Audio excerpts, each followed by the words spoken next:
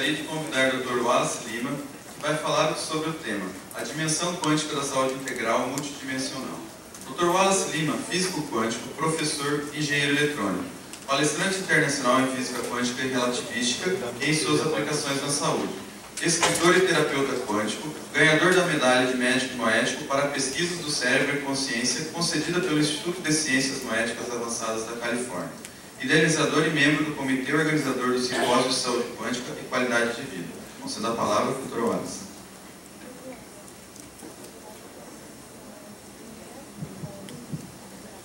Bom dia a todos e a todas.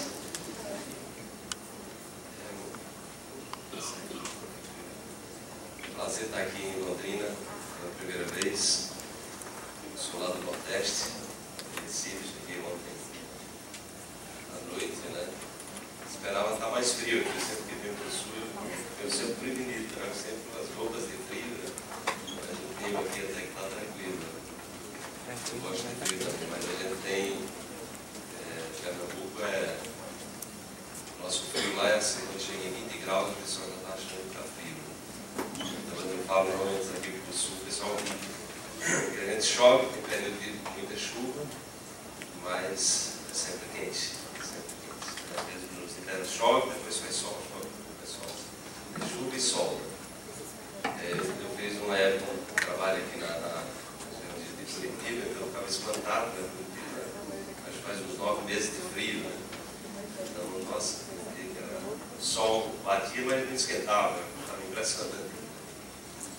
Bom, mas é um, é um prazer estar aqui com vocês, parabéns pela iniciativa do Afonso e do Cristo de estar organizando um evento como esse é, e estar é, abrindo as possibilidades da gente estar compartilhando os conhecimentos oriundos da, da física moderna, que tem dado uma contribuição significativa nesse momento pelo qual passa a humanidade.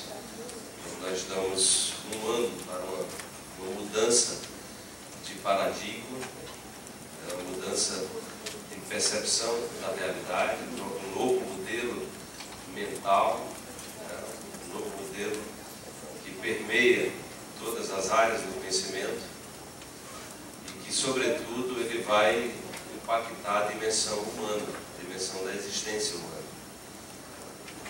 É, e na área da saúde, naturalmente, é, tem uma contribuição muito importante a dar. Né? Recentemente eu estava dando aula na pós-graduação do curso de Cuidados Integrativos da Unifesp, muita gente não sabe, mas dentro da Unifesp, que é hoje das melhores universidades de medicina do Brasil, tem nove departamentos trabalhando com medicina integrativa, pesquisando nesse campo. E eles me pediram para falar exatamente da mudança cultural na área da saúde, eh, em função dos conhecimentos trazidos pela física moderna. Então eu vou fazer aqui mais ou menos, vou imaginar que vocês nunca, nunca ouviram falar física, tá? Eh, e vou procurar falar da maneira mais simples possível, porque na verdade esse conhecimento que nós estamos trazendo, nós imaginamos que no futuro eles vão ser ensinados para as crianças. Esse conhecimento ele vai ser ensinado para as crianças. Desde cedo a gente vai ter consciência da dimensão que esse conhecimento repercute nas nossas vidas, do ponto de vista qualitativo. né? Então a nossa intenção é compartilhar, é propagar esse conhecimento da maneira mais simples e de modo que as pessoas possam é, trazer esses referenciais para o seu dia a dia.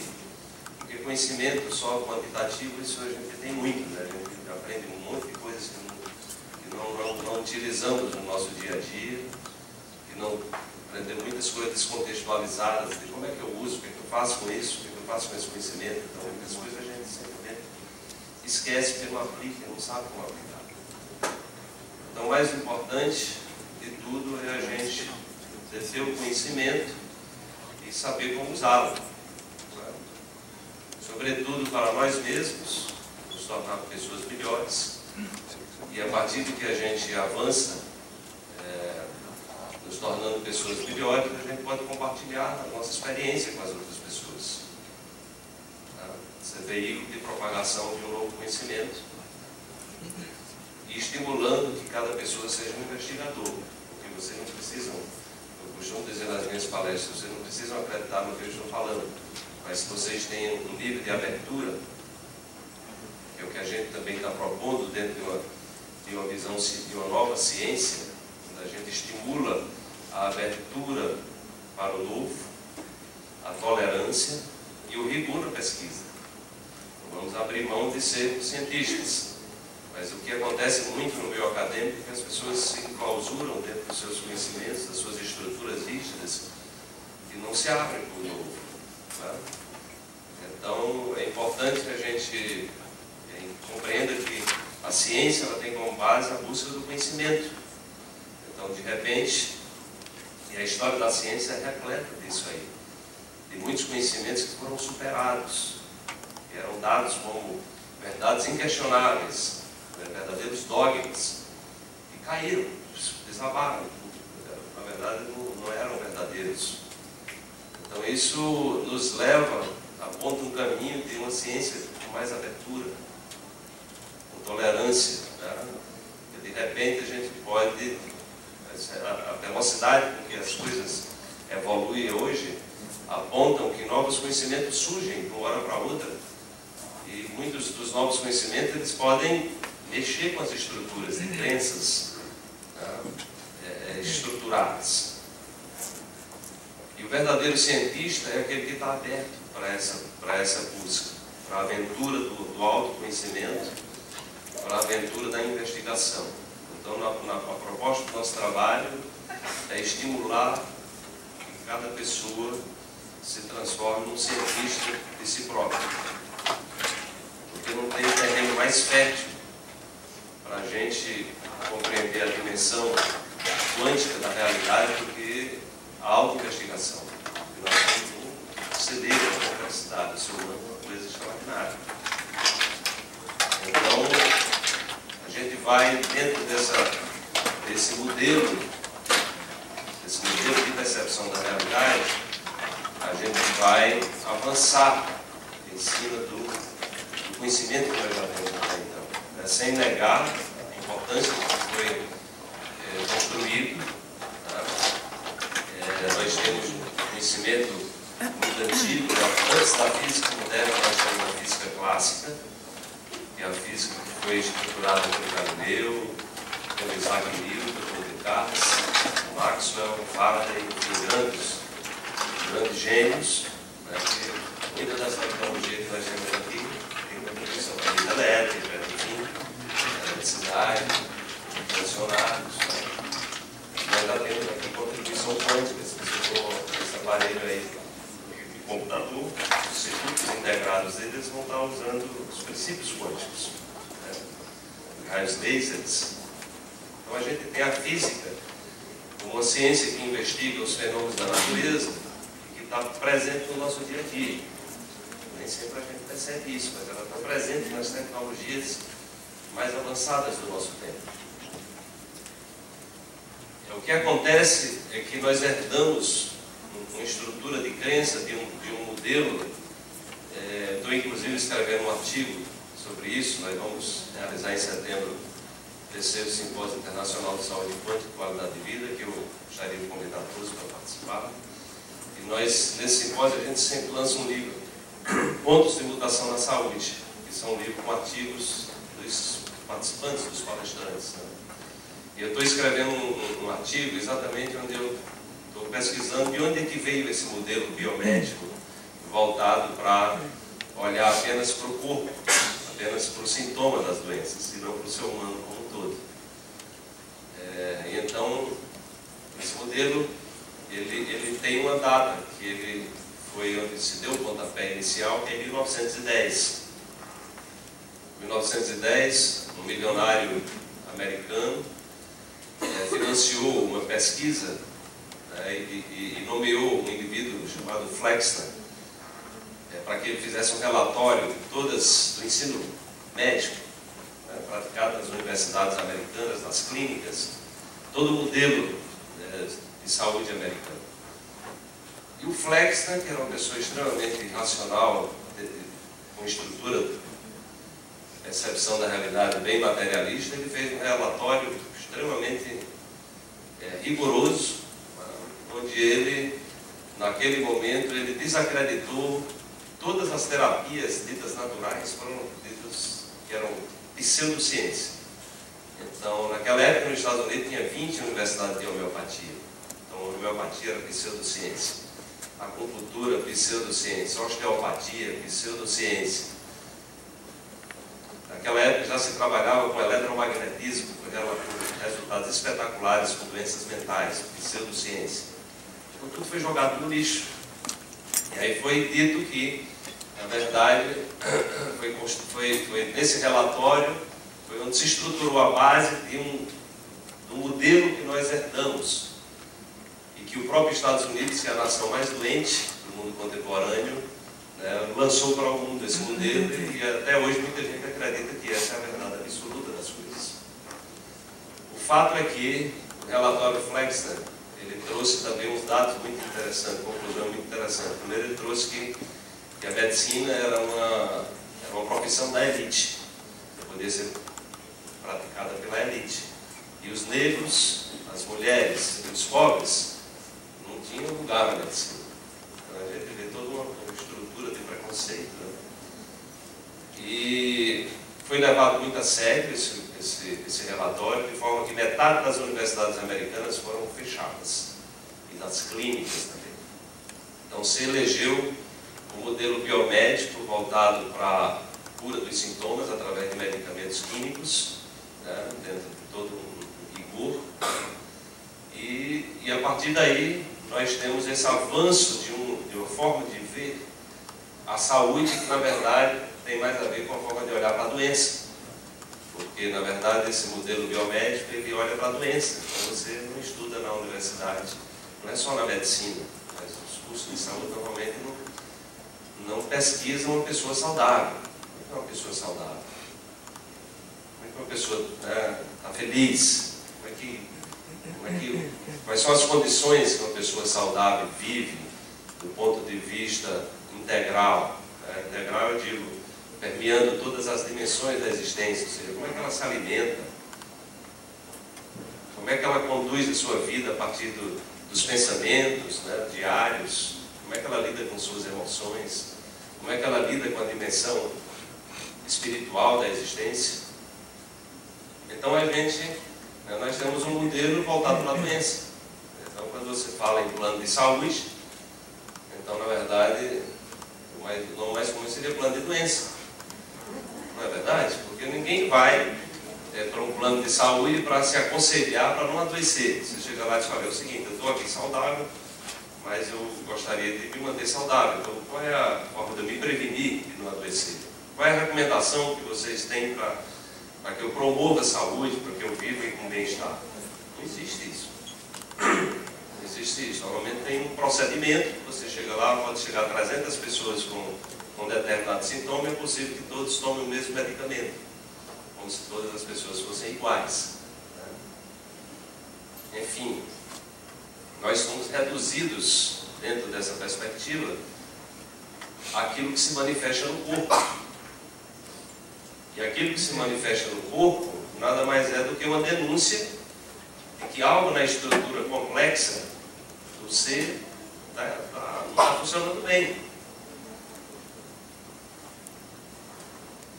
Então, dentro dessa perspectiva que a gente está trabalhando, a doença ela vai se transformar numa bela oportunidade de investigação. Ao invés de simplesmente suprimir o sintoma, eu vou abrir as portas para um território de investigação. E da pessoa olhar para si própria. É, olhar para si própria. E olhar para si próprio em que dimensão? Em todas as dimensões. Porque do ponto de vista quântico, gente, e relativístico, a física moderna, ela consiste na física quântica, que é a física que mergulha no interior da matéria a estrutura do mundo subatômico, lembrando que todo o universo é assim, a física quântica estuda a estrutura de como o universo foi desenhado, desde o chamado Big Bang. Então hoje se conhece, por exemplo, mais de 260 partículas que habitam o mundo subatômico, ou seja, habitam o nosso corpo, por exemplo. Essa parede, a estrela, inteiro é assim.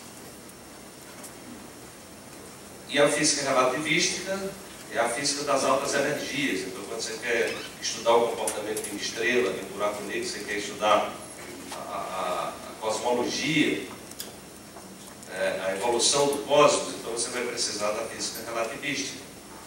E essas duas áreas da ciência, que são exatamente que contemplam a física moderna, elas vão surgir no início do século passado, precisamente em 1900 física quântica, em 1905 a física relativista com a teoria da relatividade especial do Einstein. É. Ora, e o que é que traz, o que é que esse conhecimento ele traz que agrega valor né, a todas as áreas do conhecimento? A saúde em especial, mas a todas as áreas do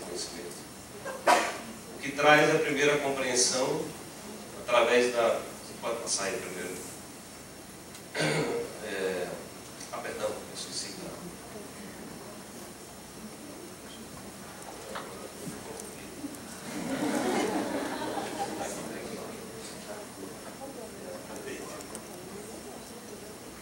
Então, essas, essas duas equações aqui, elas simplificam a física moderna.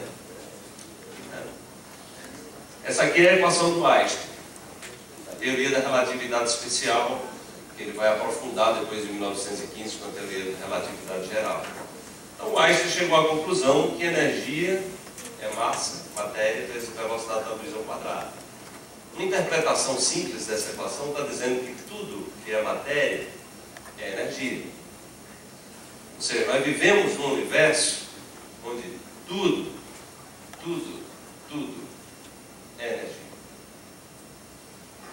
Essa energia né, ela pode ser uma energia sutil, como a própria luz, né, a própria luz, que o Einstein veio trazer é uma novidade em 1905, que a luz era considerada uma onda eletromagnética, né, já era conhecida desde o século XVIII como uma onda eletromagnética, e o Einstein disse que a luz era formada por partículas, que hoje são chamadas de fótons. Então, o que é que acontece? Ali a luz tem partículas. Né? Tem partículas que possuem energia, e como energia e matéria é a mesma coisa, a luz é matéria sutil. Da mesma forma como o nosso pensamento é matéria sutil. Né? Porque se vocês passam aqui o dia todo assistindo é, um evento como esse, chega um momento vocês nem sede, tem fome, né? Vocês não estão fazendo terofilismo, nada, né? Vocês estão apenas refletindo, pensando, sendo estimulados a pensar. Então, o ato de pensar consome energia, energia sutil. E tudo, né, a parede, meu corpo, tudo que está aqui nessa sala é energia densa. É como se a luz aqui tivesse compactada, tivesse um nível denso. Mas tudo é energia. Né? E aí o Max Planck, quando ele foi mergulhar no interior da matéria, ele chegou também a uma outra conclusão muito interessante, né, que tinha a ver, depois o Einstein inclusive utilizou a equação dele, que é essa equação de cima. Ele vai dizer tudo que é energia traz uma qualidade de informação que é a sua frequência. É, a frequência, ou seja, a quantidade de vezes que um evento se repete no tempo é chamado de frequência. Então nós vivemos com isso no dia a dia. Se você vê o ponteiro, dois segundos, né, qual é a frequência do ponteiro dos segundos do relógio? Quanto tempo ele dá uma volta? Então é a frequência com que aquilo se repete. Então em 60 segundos o ponteiro dá um giro. Então ele tem a frequência de 60 segundos. O ponteiro das horas dá um giro em 12 horas. Então tem uma frequência de 12 horas. Então a frequência é algo que está associado a, a como um, fenômeno se repete no tempo. É, então a luz, ela é, tem uma altíssima frequência. Se você, por exemplo, toca um acorde de um violino, você, o violino é um instrumento também que tem sons de alta frequência. Já um surdo tem sons de baixa frequência. É, os sons agudos são sons de alta frequência, os sons graves são de baixa frequência. Então, o que é que acontece? Essas duas equações, de maneira bem simples, elas vão apontar como é a linguagem do, do cosmos, como é a linguagem do nosso corpo, como é a linguagem, enfim, de tudo que existe. A física moderna está dizendo o seguinte, olha, nós vivemos num universo que a comunicação é energética. Tudo é manifestação de energia. E toda energia tem uma frequência, tem uma música. Se a gente fazer, fizer uma analogia com a, com a música, toda música está associada a uma dada frequência, um acorde de um violão, um instrumento qualquer. Então tudo é assim. Né? Tudo é assim. Isso tem uma, um, do ponto de vista científico, podem estar seguros, esse indivíduo aqui ganhou o prêmio Nobel pelo seu trabalho, quer dizer, parte do seu trabalho, né? parte do seu trabalho. O Planck ganhou o prêmio Nobel, todos os cientistas que desenvolveram a teoria quântica ganharam o prêmio Nobel, sem exceção. Então tem um reconhecimento acadêmico. E hoje não tem nenhuma área da ciência com os resultados práticos obtidos pela física quântica. As tecnologias mais avançadas do nosso tempo, dos lasers, dos nanocircuitos, das novas tecnologias, muitos que estão dentro das salas dos hospitais, ressonância magnética, tomografia computadorizada, enfim, tudo que tem laser, tudo isso tem base na física quântica. Então, a gente está falando de tecnologia de ponta, a gente está falando de uma ciência que tem um nível de consistência é, é, aprovada pela academia. Estamos falando de algo especulativo, de hipótese, a gente está falando de algo consistente, que já tem inúmeras, inúmeras aplicações práticas. Então, que isso, que esse conhecimento, que esse conhecimento é, contribui para que a gente tenha uma, uma abordagem de saúde e não de doença. E que a gente possa compreender a doença como uma possibilidade. Uma possibilidade de transformação, uma possibilidade de aperfeiçoamento nos parece que é esse o recado que a doença traz. Algo está. Algo não está bem.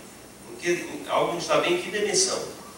O que acontece é que hoje, é, esse modelo que foi herdado e que ainda é predominante do mundo, mas isso está mudando né, de maneira irreversível, né, esse modelo ele, ele traz exatamente o último estágio, quer dizer, quando, ela se, quando, quando a desarmonia se manifesta no corpo, você vai buscar combater, combater, combater a desarmonia, sem normalmente se preocupar de onde veio essa desarmonia, ou seja, o que causou isso. Bom, do ponto de vista então quântico relativístico, tudo é energia e tudo tem uma vibração. Então, se a gente observa o processo evolutivo da humanidade, a vida surgiu na Terra aproximadamente 3,5 bilhões de anos.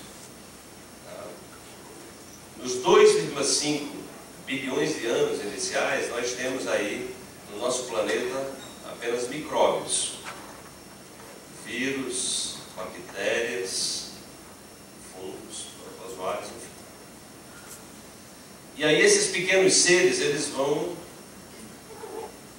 se associar. Né? A microbiologia, os estudos mais recentes, mostram que, na verdade, a vida na Terra evoluiu por cooperação desses pequenos seres. Então, eles começaram a cooperar entre si.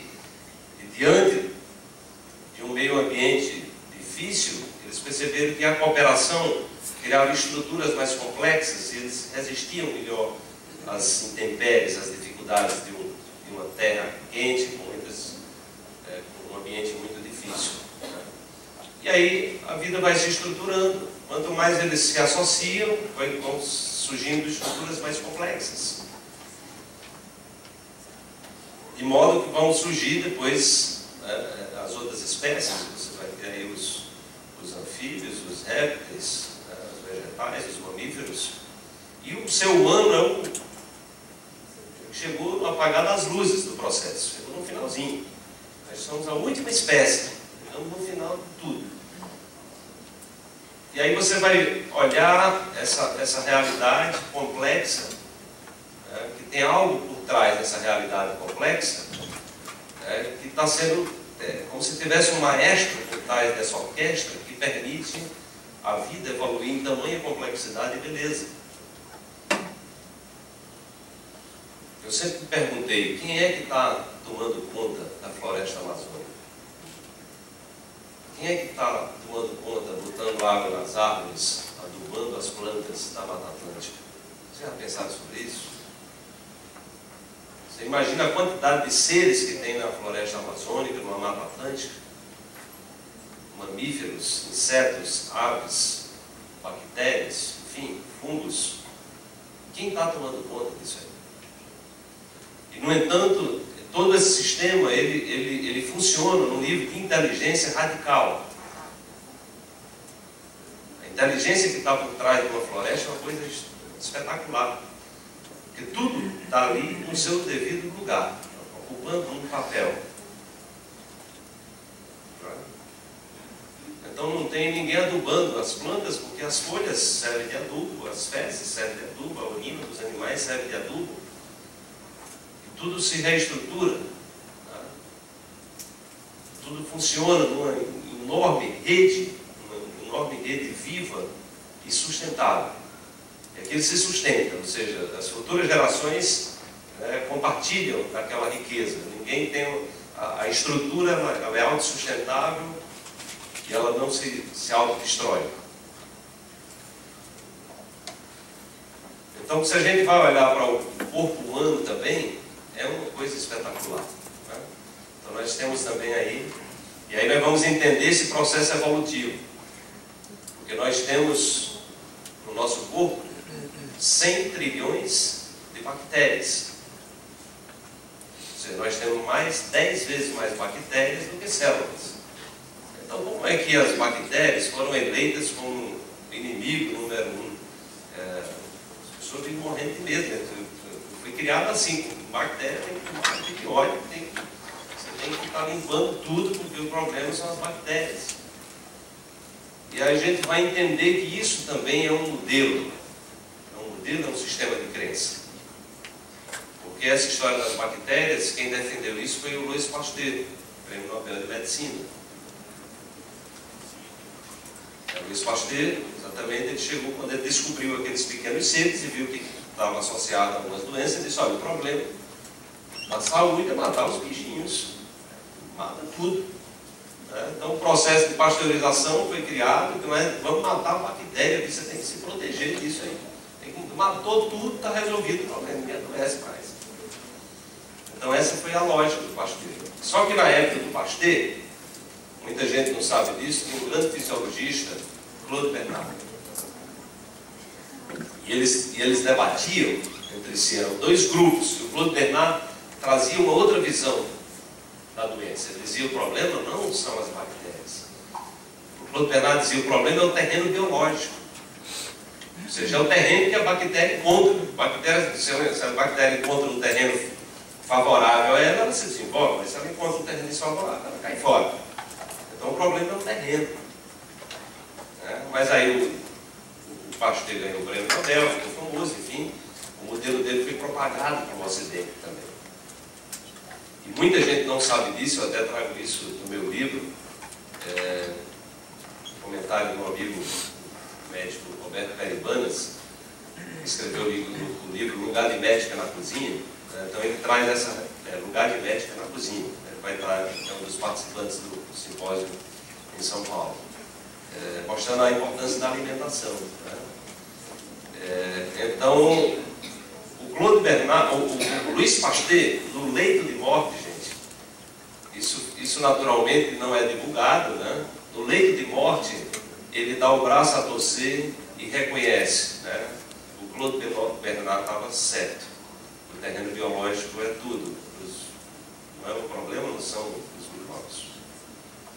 Então, a nova, nesse novo paradigma, a gente vai deixar de ver vírus, bactérias, esses seres como inimigos, e sim como amigos, porque senão a gente estava raro. 100 trilhões estavam destruídos. Então, na, na, verdade, as bactérias são nossas amigas. Você botou o alimento na boca, ela já está ali colaborando. Chegou no intestino, é uma verdadeira festa. Né? É, são trilhões, né? então elas estão ali colaborando, todo o processo digestivo, né? secretando é, é, substâncias importantes para o nosso corpo. E quando é que a bactéria se transforma em inimiga? Ela se transforma em inimiga quando a gente é, desobedece às leis. Quando a gente cria um ambiente ácido, né? um ambiente ácido, é um ambiente quando a gente se nutre, por exemplo, de alimentos que são não estão de acordo com, com a sinfonia do nosso corpo. Porque veja bem, o corpo evoluiu como a floresta, num processo extremamente complexo, de forma que cada órgão do corpo, gente, tem uma qualidade energética e tem uma vibração, sua frequência. Então tudo isso evoluiu, né? e aí, da mesma forma como tem um maestro invisível regendo a, a floresta, tem um maestro também no corpo. Porque a gente vai dormir e a gente não fica dizendo, olha, falou o coração, você vai batendo tantas vezes por segundo, tal, o rim aí faz a filtragem do, do, do fígado, você dá comando. E quem é está comandando isso? Tem uma inteligência, gente uma coisa extraordinária. Está tudo interconectado, cada um está no seu papel. Tudo o que acontece no corpo hoje, se sabe que cada célula emite um, nível de informação, um nível quântico, frequencial. Há uma comunicação. O que acontece numa parte do corpo, todo o corpo sabe. Então está tudo interconectado, é uma rede de informação, de rara beleza, né? de uma inteligência rara que, coordena tudo isso aí. Mas veja que tudo isso evoluiu dentro de uma lógica que tudo tem uma dada frequência, tudo tem uma qualidade de energia. E aí o que é que acontece? Do ponto de vista energético, o alimento que a gente está botando no nosso prato, que vai se transformar no nosso corpo, ele tem uma qualidade de energia e uma qualidade de frequência. Então, se eu boto algo no prato todo dia que contém veneno, por exemplo, que é o que está acontecendo no Brasil, Brasil, gente, eu recomendo para vocês, anote aí, o veneno está na mesa, do Silver Tendler. É, Silver Tendler, é um cineasta famoso, é premiado internacionalmente, ele fez um documentário, eu vi o lançamento no ano passado em São Paulo, para você ter uma ideia sobre a questão dos agrotóxicos no Brasil. É o paraíso dos agrotóxicos, é o país que mais usa agrotóxicos no mundo. E pasmem, muitos dos agrotóxicos que estão sendo comercializados, que estão indo para a mesa das pessoas através dos alimentos, eles já foram banidos no, no mundo todo. E só aqui não consegue ser banido. Porque tem uma estrutura política que segura. Né? O pessoal manda por. Entra uma, é, é, é, é, o pessoal tem as estruturas políticas que conseguem é, fazer que seja julgado anos depois, isso vai levando e o veneno está na mesa. Então, o brasileiro médio, não consome produtos orgânicos e naturais, né, como muito produto industrializado, então ele come em média por ano 5,1 litros de veneno. Sabiam disso? 5,1 litros de veneno. Em média. Isso está lá no, no filme Veneno da Mesa.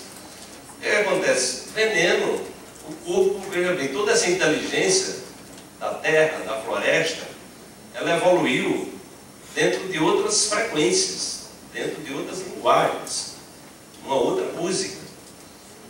Né? Então, se você bota veneno no solo, né, que é o fertilizante químico, né, são, são os inseticidas, as, né, enfim, que se usa para combater as pragas. É exatamente por que, que surgem as pragas? Porque você eliminou a diversidade da floresta. Na floresta não tem praga. Não tem nenhuma praga na floresta, porque tudo está em equilíbrio. Suja, suja uma praga, mas suja um predador. Então está tudo organizado. Então, o desconhecimento dessa ciência muito evoluída que a natureza desenvolveu fez com que o homem devastasse a floresta e estruturasse as gigantescas monoculturas. Então você bota, né, tirou a floresta, tirou aquela base e bota, planta uma coisa só milhares, milhões de hectares, de uma coisa só. E aí surgem as pragas. E as pragas, como não tem floresta, então você não tem os inimigos naturais, e aí você é, é, entende, dentro da nossa lógica, tem que combater o inimigo, você tem que botar veneno para matar.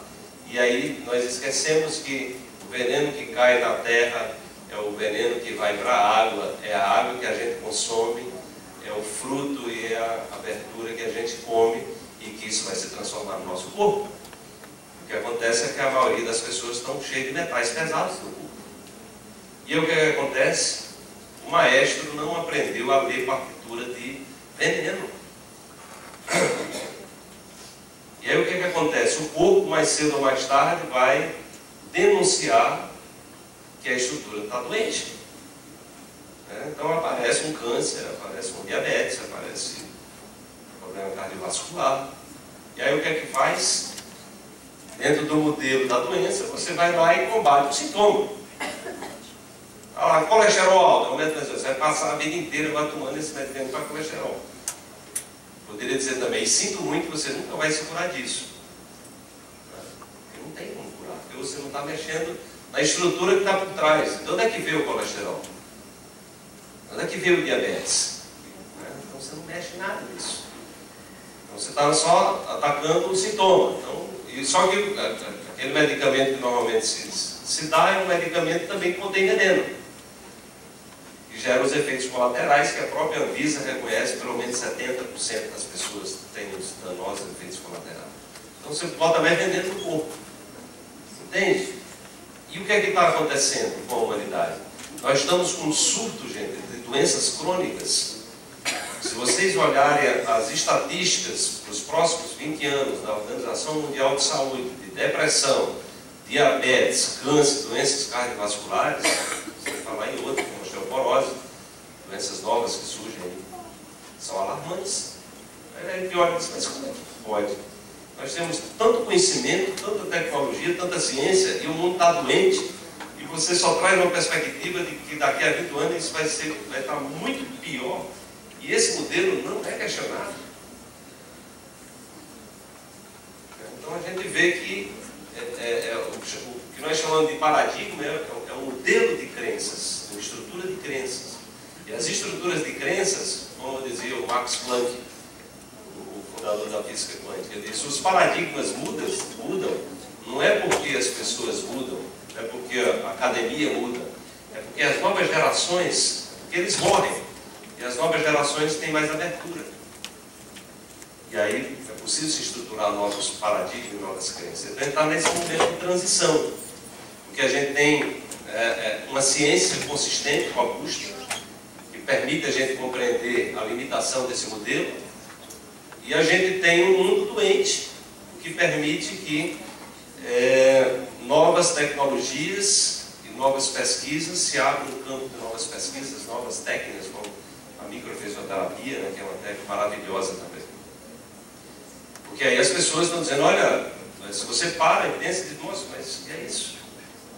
Nós estamos doentes e a perspectiva é de ficar mais doente. De maneira assustadora, a depressão é considerada a doença do século. De 10 americanos, 4 estão condenados a ter câncer. Tem outro filme que eu recomendo para vocês, para vocês terem uma, uma ideia do que está acontecendo no Brasil. Um filme extraordinário que recebi recentemente na cineasta de São Paulo, chama-se Muito Além do Peso. Você encontra no YouTube, muito além do peso.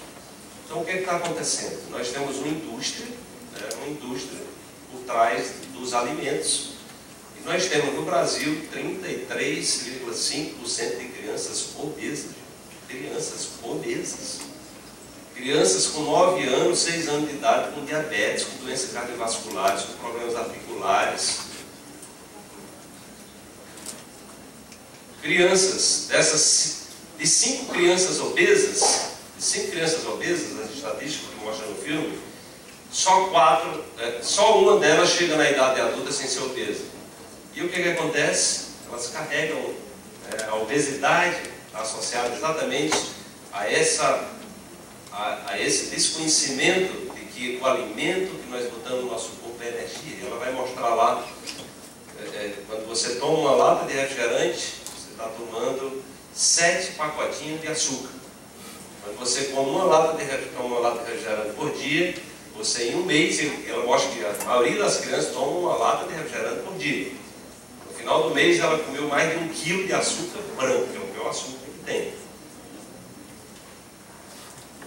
Um pacotinho daquele de todinho né, tem seis pacotes de açúcar. Os sucos, né, que a gente fica pensando, não, vamos tomar açúcar então. Os sucos é o que tem mais açúcar.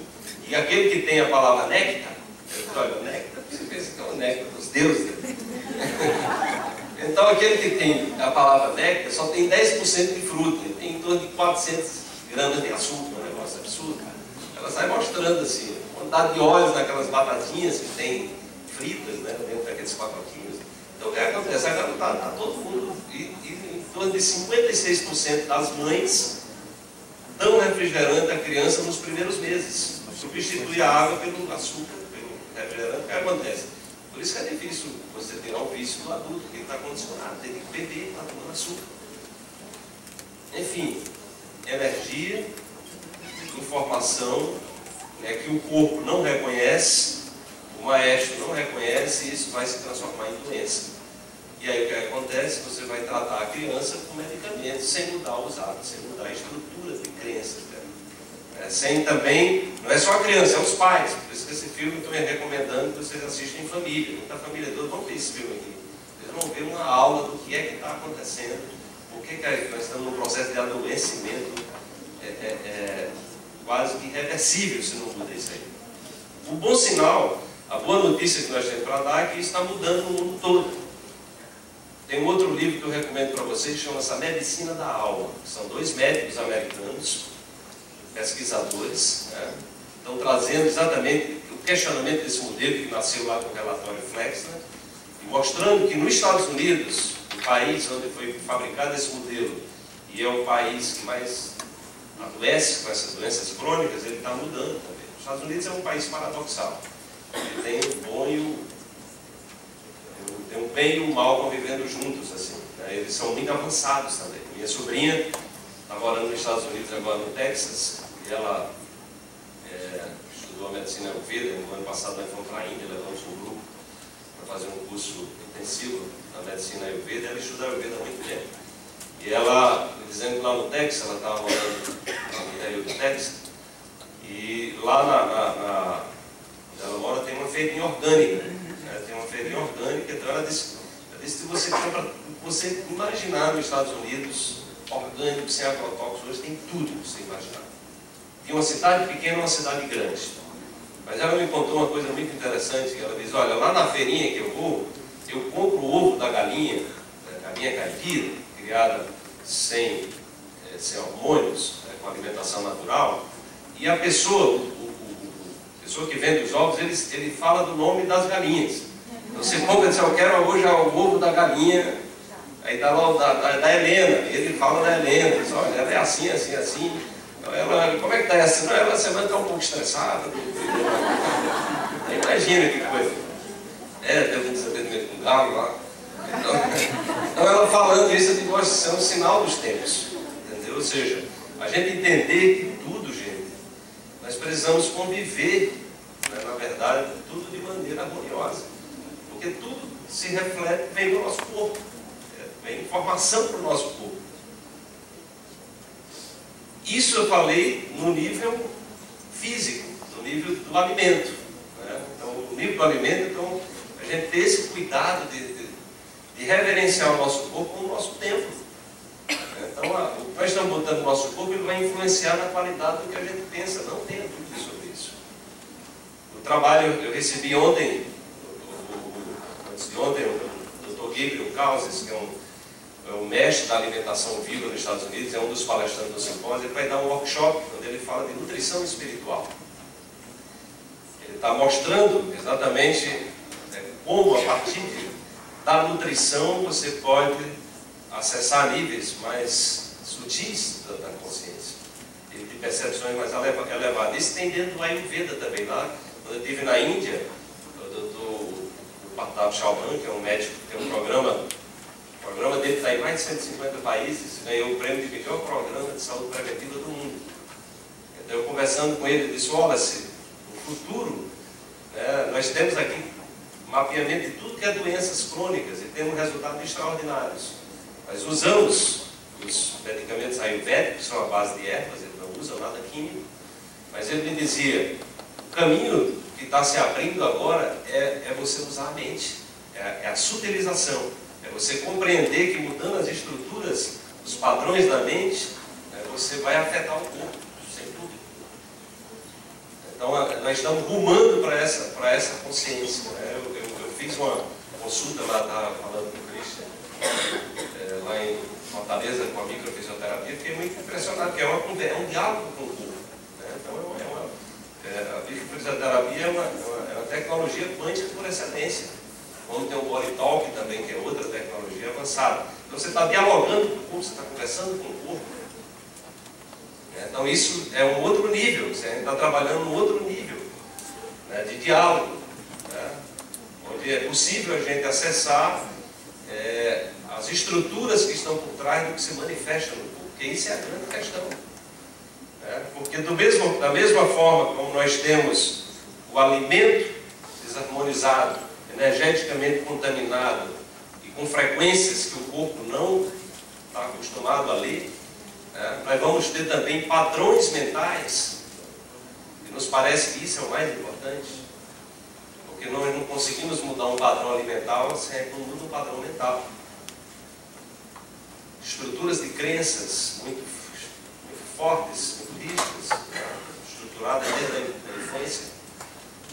Então, eu tenho viajado muito pelo Brasil e outros países, e eu, para mim está muito claro né, o que difere confere às nações é a cultura e a língua. Mas está todo mundo buscando o mesmo objetivo. Está todo mundo querendo ser feliz, está todo mundo querendo ser saudável. Mas o que acontece é que muitas vezes você também não vai encontrar, nunca encontrei ninguém que dissesse, olha, eu vou é, me acordar hoje e quero terminar no final da tarde mais infeliz do que eu, eu comecei. É. Nunca ninguém vi ninguém verbalizando isso. Mas você encontra pessoas que têm estruturas de comportamento e crenças mentais que elas terminam normalmente o dia mais infelizes do que começaram. Mas elas não dizem, mas elas se comportam criando as condições para serem mais infelizes. E quanto mais infeliz, mais suscetível à doença. Porque tem uma área também de pesquisa recente, que é a psiconeuroimunologia, que mostra uma relação direta entre o cérebro límbico se processam as emoções, o sistema imunológico, a glândula timo, o sistema endócrino, as suprarrenais e o sistema nervoso central. Então, quando a gente pensa e atribui significado a algo, nós criamos uma química pode ser favorável ou desfavorável no organismo. Ou seja, nós podemos fortalecer o nosso sistema imunológico com crenças positivas, né? mas podemos também botar ele para baixo. Da mesma forma como nós acidificamos o sangue, tomando refrigerante, né? enfim, comendo produtos, muitos produtos industrializados, ou seja, quando acidificamos o sangue, o que, é que a gente cria? Um ambiente favorável para as bactérias. Aí o que, que faz? Você vai tomar um antibiótico para as bactérias. Mas a bactéria não é o inimigo. Aí onde está a mudança do paradigma? Não é a bactéria que é o inimigo. Não adianta matar a bactéria termina matando um monte de bactérias que fazem bem. É, na verdade, esse é o momento do salto quântico. Vou falar para vocês daqui a pouco. O salto quântico é uma mudança de percepção da mente. Por que que está... Por que, que eu estou com sangue ácido? Por que, que as bactérias estão... Por que, que eu criei um terreno biológico favorável a que as bactérias nocivas invadam o meu corpo? Essa é a pergunta. Não é matar as bactérias. Então, dentro desse paradigma que a gente está trabalhando, as bactérias são nossas amigas, até quando adoecemos, elas estão denunciando que algo precisa ser, ser corrigido. A gente está criando um ambiente de desarmonia onde as bactérias chegam e fazem a festa. Mas elas, naquele momento, elas estão sendo nossas amigas também. Elas estão dizendo, ah, você está criando um ambiente aí de sua coragem, está aqui fazendo a nossa festa, então se cuide. Não, não adianta matar. E ó, o que, que acontece? Nós estamos na décima geração de antibióticos. O ano passado eu vi aqui em Curitiba é, A questão das superbactérias nos hospitais. Em Brasília, nos Estados Unidos, teve uma cidade que morreu 39 mil pessoas por aí. É superbactérias, gente. Seja, são bactérias que não têm antibiótico de jeito. Por quê? Porque as bactérias, se você, aqui em Londrina, começa a tratar uma pessoa com antibiótico, antibiótico, antibiótico, e a bactéria, o que acontece? Ela é inteligente, ela está ali, você está bombardeando ela, ela cria uma estrutura de proteção. Ela cria uma, uma estrutura de defesa, daqui a pouco. Né? Cria um forte ali e diz, aqui você não entra mais. Só que essa informação, quando ela adquire aqui em Londrina, ela é passada para o mundo todo. Isso é uma informação quântica, eu falo isso no meu livro. As bactérias, elas têm, elas, elas estão dentro do que a gente chama de não localidade quântica, ou seja, a informação é compartilhada, além do tempo. Adquiriu resistência aqui em Londrina, Brasil todo, essas bactérias vão dar resistência a esse antibiótico. Por isso que estamos na décima geração dos antibióticos. Nem sei se já estamos na décima primeira. E o que acontece? Vai, vai bombardeando as bactérias sem se preocupar com a causa, tomando antibiótico de maneira indiscriminada, para vírus, inclusive, né? Doença de garganta, 95% pelo menos são de vírus, e, e, é muito comum as pessoas estarem tomando antibiótico para problema de garganta. Então você não está. Vírus não, não é suscetível a antibiótico. Na verdade, então o efeito placebo é que está atuando aí. Você acredita que tomando um antibiótico vai melhorar? Vai melhorar mesmo. Não é o antibiótico que está fazendo nada, porque o antibiótico não mata vírus. E aí você está criando esse ambiente favorável para a resistência. Né? E que isso se propaga pelo mundo. No caso do pensamento, no caso do pensamento, nós podemos criar também ambientes ácidos. Da mesma forma como nós acidificamos o sangue é, com o alimento, nós acidificamos com, com o que nós pensamos. Então, é a lógica de entender que nós vivemos no, no, no mundo em rede, no mundo subatômico é assim, gente, funciona. Tem duzentas e tantas partículas. Se você mexer numa delas, você mexe no todo. Não tem como mexer numa partícula sem afetar o todo. E não tem uma ação sobre uma partícula, volta para, si, para ela mesma. Então, nós não temos outra saída a não ser nos aperfeiçoarmos como seres humanos. Porque nossas ações, que nós pensamos, como nós lidamos com as nossas emoções, isso se afeta o outro, pode ter certeza que vai voltar depois para você. Isso é um ditado popular, inclusive, né? É da sabedoria popular. Né? Quem planta vento, colhe tempestades. Não é isso? Então isso é reconhecido. Todos nós podemos perceber isso. Quando nós estamos num, num padrão vibratório, todos nós como seres humanos, nós temos raiva, temos ódio, temos, é, como é que nós lidamos com esses padrões? Eu não aprendi na escola como lidar com a minha raiva, com a minha raiva, como lidar com ódio, com ressentimento, com perdão. Dificuldade de perdoar é uma das coisas mais graves que tem, que está por trás da maioria das doenças principalmente a depressão. Eu, como terapeuta, doei muito tempo e a maioria das pessoas que atendem com depressão estão de perdoar, principalmente a si próprio. Estão se autopunindo, se machucando, se errarem alguma coisa, estão ali se martirizando, martirizando, martirizando. Sofrimento, ressentimento, como é que eu saio, como é que eu me liberto do ressentimento, da mágoa que eu tenho de alguém? Então, tudo isso são padrões de energia, gente. São padrões de energia, cada um tem a sua frequência. Nós não falamos sobre felicidade, né? é um, dos pontos que eu tenho tocado muito no meu trabalho, é exatamente nós precisamos trazer para a sala de aula, principalmente, eu imagino que para todas as pessoas, mas as pessoas que lidam com saúde, nós temos que no futuro ter as pessoas entendendo, sobretudo, entendendo de gente. Né? Agora, como é que eu vou cuidar da saúde do outro, eu não sei cuidar da minha, eu não me cuido? Como é que eu lido com minhas emoções? Como é que eu vou ajudar o outro que está com raiva, eu não sei lidar com a minha própria raiva? Então a gente imagina que nós temos que sair do contexto de uma ciência que enveredou pelo caminho do material né, e, que tem muito sucesso. Nós temos um mundo repleto de tecnologias no mundo material e todo dia surge uma nova. Né, nós fomos para a Lua e estamos com sondas aí que estão se aproximando do Sol. Mas a gente não sabe ainda reconhecer o potencial das tecnologias, do mundo interior. Como usar esse potencial criativo, né? esse potencial inteligente que todos nós temos para nos transformar e transformar o mundo. Porque dentro da perspectiva quântica, né, é perda de tempo você querer transformar o mundo fora. Não sei se vocês já tentaram mudar alguém. Os filhos, os filhos são bons ainda. Quer que um filho seja igual a gente. Viu como dá um trabalho, né? E normalmente a gente gera conflitos e muitas vezes quando os pais impõem que os filhos sejam igual a eles, esses filhos normalmente na idade adulta vão ter dificuldades. Porque muitas vezes não seguiram o caminho do seu coração. Eles foram submetidos a um processo de autoridade e repetir o que a família quer que eles sejam. E aí, num determinado momento, ele vai dizer: Olha, isso não me faz feliz. Porque todo ser humano, gente, é uma, é uma energia e uma frequência. Ou seja, todo ser humano é uma bela melodia. E nós estamos no processo de entender, com bases científicas, que nós estamos aqui para aprender a cantar a nossa música. Ou seja, qual é a nossa melodia? Qual é a melodia que eu me afino com a melodia das outras pessoas? Com a melodia do cosmos? Na década de, do, do século XVII, Kepler, um cientista famoso, que mostrou que as órbitas dos planetas eram órbitas elípticas, ele já falava na melodia das estrelas. E hoje a gente pode dizer que ele estava certo, as estrelas têm uma melodia. Cada estrela tem a sua música.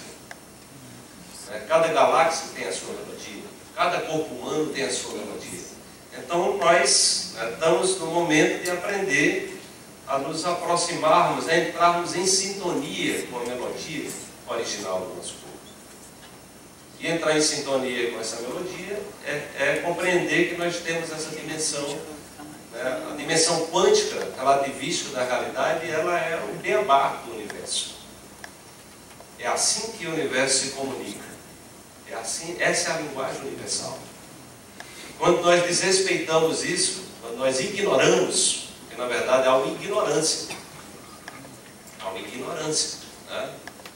Se a gente vai para as tradições espirituais, né, eu, pesquiso muito também essa parte das tradições espirituais para entender a relação entre ciência e espiritualidade. Meu trabalho permeia isso também, essa pesquisa. E na tradição budista, você vai encontrar lá que no discurso do Buda, Sakyamuni, né, quando ele se ilumina, ele vai dizer: olha, ele vai trazer quatro novas verdades. E, a primeira delas, ele diz: o sofrimento existe. Então, as pessoas vivem num estado de sofrimento cíclico, repetindo. E o sofrimento existe, e a base, a raiz do sofrimento é a ignorância e o apego. Olha só, ignorância não é a pessoa ignorante porque não sabe ler, não é isso. Porque você vai encontrar pessoas que não sabem ler, que são às vezes mais sábias do que uma pessoa que tem todos os títulos acadêmicos. Título acadêmico ele não é, ele não é sinônimo de sabedoria.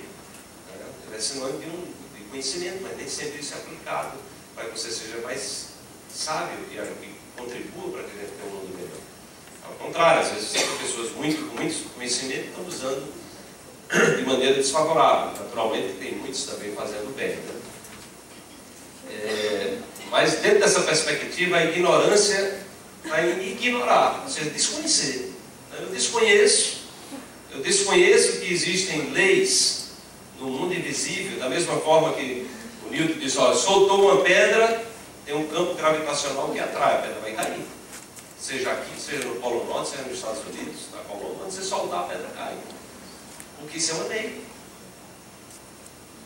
É uma lei, aí você consegue né, entrar com a matemática e estruturar essa lei dentro de modelos matemáticos. Hoje o que nós temos também é, é, é cada vez mais evidente, tem inclusive um cientista de ponta nos Estados Unidos que já está trabalhando ali de tecnologias, para a gente compreender que o nosso pensamento, gente, ele está produzindo realidade. A estrutura de crença que nós temos está produzindo a realidade que nós estamos vendo. Então, o que nós estamos vendo fora da gente não é a realidade propriamente dita. Isso, físico quântico é, que estruturou a, a, teoria quântica do ponto de vista matemático, chamado Heisenberg, ele, ele tem uma frase que ele fala sobre isso. Porque quando os físicos quânticos entraram no mundo do átomo, eles viram que tinha um mundo diferente. realidade era diferente. Não batia. As equações de Newton não conseguiam entrar no mundo subatômico, não eram capazes de explicar o que estava acontecendo ali. E eles ficaram loucos, principalmente o que é estava vendo. Então eles perceberam que estavam diante de um novo paradigma. Como se o mundo subatômico fosse um universo paralelo, onde a realidade acontece de um modo diferente. Tem um mundo microscópico, você precisa de determinadas leis. Não vai usar a lei de Newton, tem que usar as leis da física quântica. No mundo macroscópico, tudo bem. Até determinadas velocidades você usa a lei de Newton. Mas se passar de 10% da velocidade da luz, você tem que ir para a relatividade de Einstein. Então é outro universo paralelo. Então nós temos níveis de realidade. O nível subatômico, o nível macroscópico que a gente vive aqui, e tem o nível das velocidades, das altas energias. Então são universos paralelos que interagem entre si. Da mesma forma, dentro da gente, nós temos esses universos paralelos, que são os nossos níveis de percepção da realidade. Então, esse nível de percepção da realidade, ele tem a ver com a nossa cultura, ele tem a ver com a, com a religião, se você for uma pessoa ligada a uma religião, tem a ver com o clima que você mora, influencia também. Enfim, meio ambiente, de uma forma geral, nos influencia. Isso permite que você, a partir dessas estruturas de crenças, da cultura da educação, né, você construa um mundo interior. Então, nós construímos um mundo interior e nós olhamos para o mundo exterior referenciado por essas realidades, por essas estruturas de crenças. É por isso que uma pessoa olhando para um quadro pode chorar de emoção. E outro olhando para o mesmo quadro pode rir, ficar feliz. Ouvir uma música, um chora, outro ri, outro fica indiferente. Na verdade, não é que a música, o quadro, tenha algo que faz a pessoa rir ou chorar. Que apenas ele conecta com algo que você já tem. Ele só apenas, é o gatilho que dispara e diz, olha, estou aqui, então, traz uma informação que você já tem. Então Heisenberg dizia, o que nós vemos não é a realidade propriamente mas é a realidade que se submete ao nosso método de investigação. Então eu me apego muito, é por isso que o, a, a, nova verdade lá do Buda é o apego, quer dizer, o problema é o apego. O apego é o quê? A estrutura de crença. Você se agarra naquilo ali e daqui não sai daqui ninguém mentira. É, só que a vida é dinâmica. Tudo está em processo transitório, inclusive o nosso corpo está em processo transitório. Há um ano nós mudamos 98% dos átomos poucos meses nós trocamos todos os átomos, nós temos um novo fígado, a pele nem se fala. Então nós somos seres mutantes, até o nosso corpo se transforma materialmente, mas tem algo que fica, que é as informações. Nós temos um campo informativo que nós trocamos a matéria, mas o campo informativo você continua sendo a mesma pessoa. Então essa compreensão de que a gente vive num mundo dinâmico de transformação, é, referenciado tendo como base trocas energéticas. Então, para vocês que são profissionais de saúde, vocês já devem ter percebido, quando nós estamos atendendo alguém, ali está havendo um processo de troca. Então, no futuro é algo para se trabalhar, a proteção do profissional de saúde. Porque se você não se protege energeticamente, você pode ajudar uma pessoa a se curar e você ficar doente. Vocês certamente já passaram por situações de pegar peso energético, sair um atendimento né, baqueado. Então, o que é que aconteceu ali? Então isso está na margem. A, a, a, é, o mundo acadêmico ignora isso aí. E, no entanto, eu vi em Recife o ano passado, na capa do Diário de Pernambuco, um dos jornais mais importantes, falando do número de depressão gigantesca entre médicos e enfermeiros, principalmente aqueles que trabalham nas emergências, ou seja, lidando com realidades duras, entendeu? E que desconhece que aquilo é uma realidade energética, não se está se envolvendo com energias densas, pessoas em estado de muito sofrimento. O que acontece? Você ajuda o outro e adoece. Muitos médicos dependentes, químicos, alcoólatras. Então o cuidador está doente. Então isso é outra perspectiva que nós precisamos pensar para os cuidadores. Eu, eu ensinei, eu em sala de aula por mais de 20 anos. Né? E, e outra das categorias muito doentes são os professores. Muita gente doente professor com câncer de garganta, professor com muitas doenças. Porque está lidando com pessoas. É troca energética. Né? Tudo está acontecendo aqui são trocas energéticas. E a gente precisa doar, mas a gente precisa se proteger.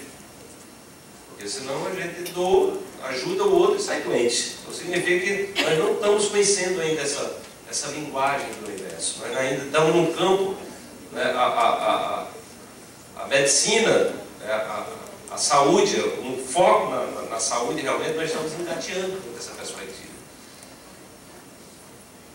O que eu posso dizer para vocês é que nesse livro, A Medicina da Alma, né, os médicos trazem estatísticas contundentes nos Estados Unidos, uma pesquisa em 2005, mais de 30 mil pessoas, mostra que em torno de 36% dos americanos já estão buscando as práticas integrativas em saúde, saindo do modelo do medicamento. E quando eles incluem o que eles chamam de medicina da alma, que é a oração, a meditação, isso passa de 60%. Então isso é um dado muito significativo. Né?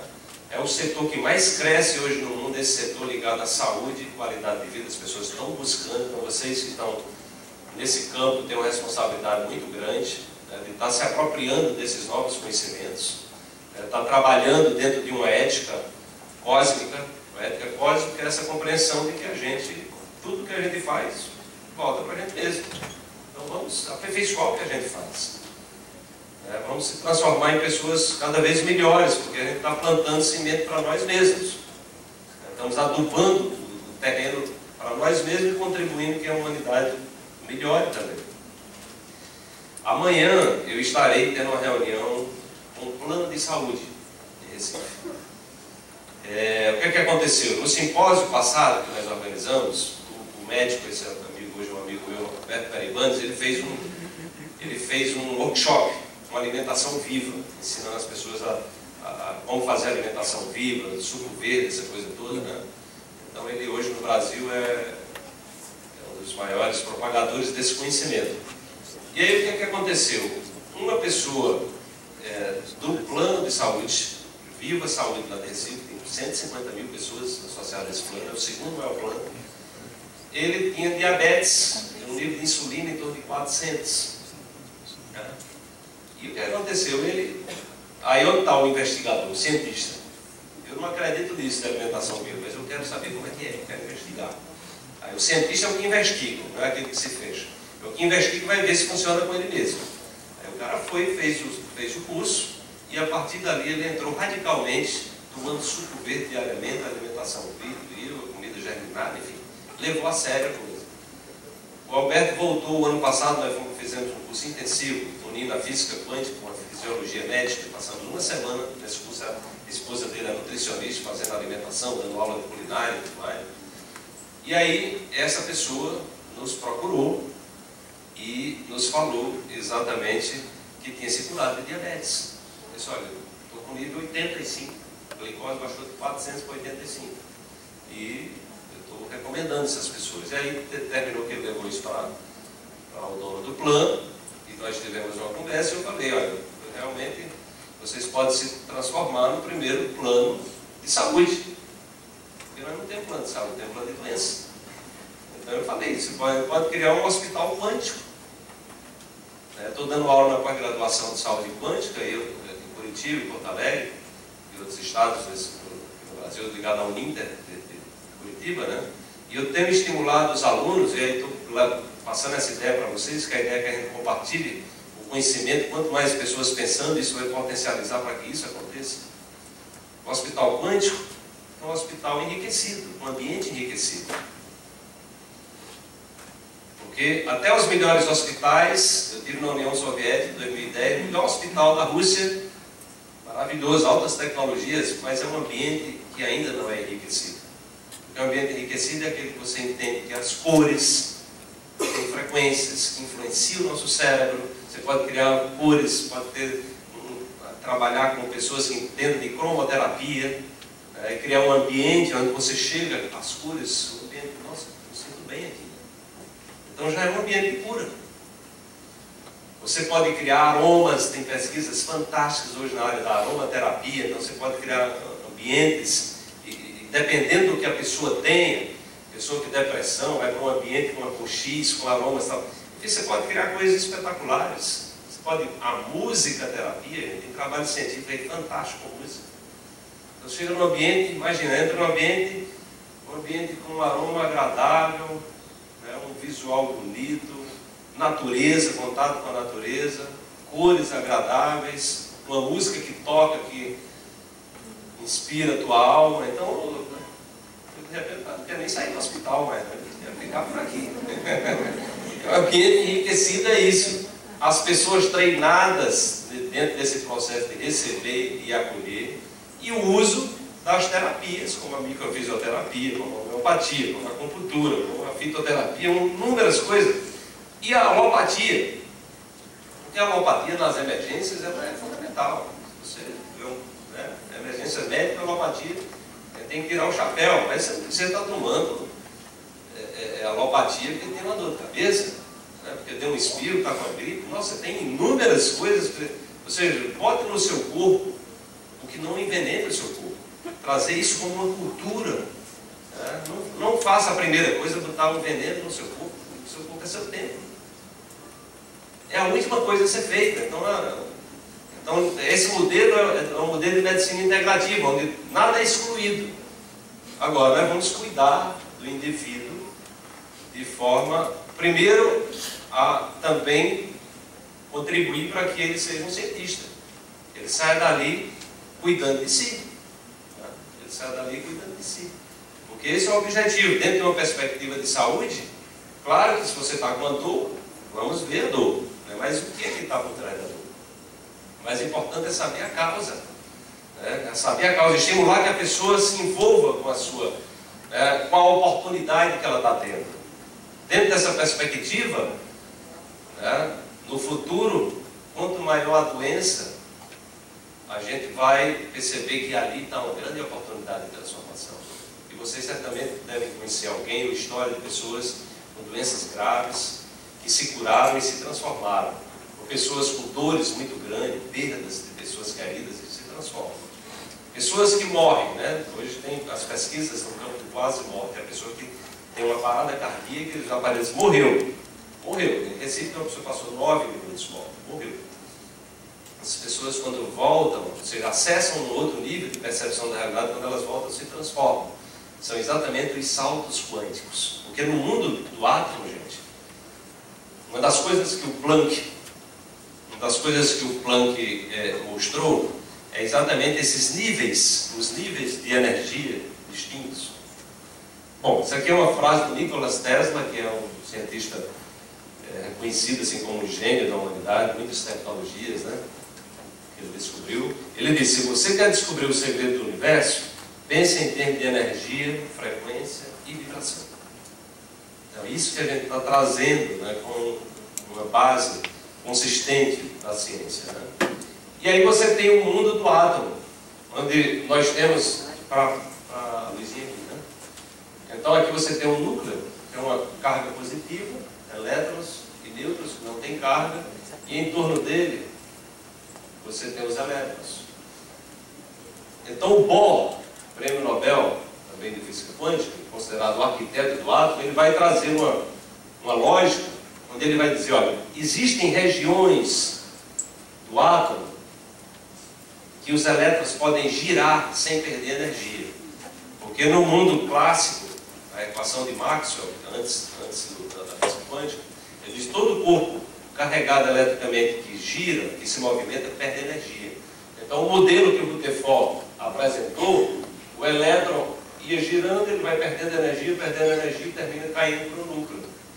Então esse modelo era um modelo que não era sustentável. Foi quando o Bohr lançou né, é, o modelo do átomo, hoje aceito, que é exatamente onde tem regiões chamadas de orbitais, onde você pode encontrar o elétron. Então, são níveis.